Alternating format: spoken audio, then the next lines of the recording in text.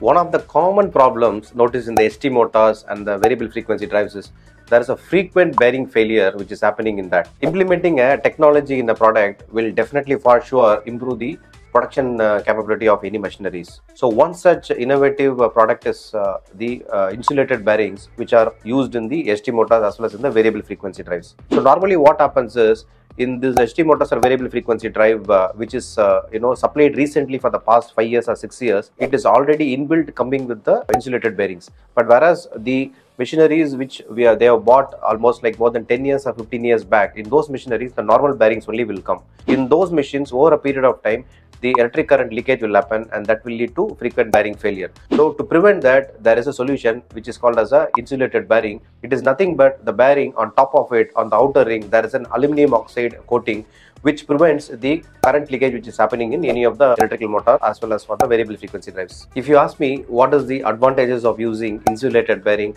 over a normal bearing, the first thing is the dimension values of the insulated bearing and the normal bearing both are same. You don't have to do any redesigning of the bearings or redesigning of the housing to suit this insulated bearing or the normal bearing. The second is by using insulated bearing in case if there is any passage of electric current coming into the bearing since these bearings have a insulated coating on the outer ring it prevents the passage of electric current. Third thereby the manpower which is used to change the bearings is also not required. So because of this we are going to have a plenty of savings by moving to an insulated bearing over a normal bearing. We have provided this insulated bearing solutions to one of the leading battery manufacturers. Earlier they were facing uh, you know bearing failures uh, every 3 months and now by using this insulated bearing they are using these bearings for almost uh, more than 3 years without any bearing failure. In case if you are facing any uh, failures related to electrical motors I would uh, happy to definitely support you with the right solutions.